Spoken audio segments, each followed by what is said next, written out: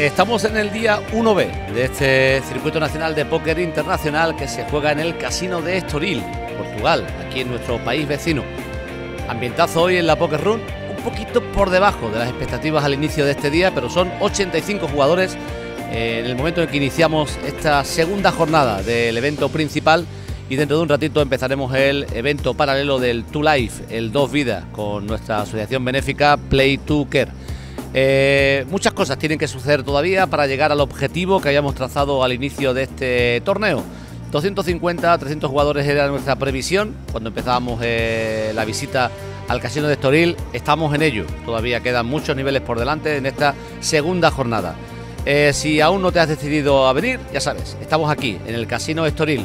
Todavía tienes todo el día de hoy para hacer tu registro, incluso el primer nivel de mañana con muchas ciegas por delante. Es una gran estructura, quizás de las mejores que puedas jugar en Europa.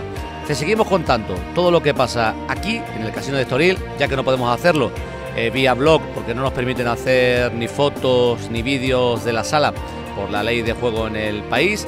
Te lo contamos todo en nuestro Twitter oficial y en nuestro Facebook. Puedes seguir a los jugadores del Team Pro. Hoy tenemos como Bonti a José Luis Urrutia, eh, ahí tenemos al Pamplonica dando caña en las mesas y dentro de un rato llegará otro de nuestros Bontis, el jugador local Claudio Coelho.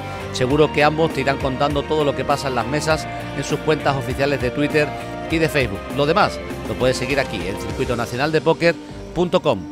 Tú recuerda, los habrá mejores, los habrá parecidos, pero seguro que no encontrarás uno igual que este, de jugadores para jugadores. Somos el Circuito Nacional de Póker.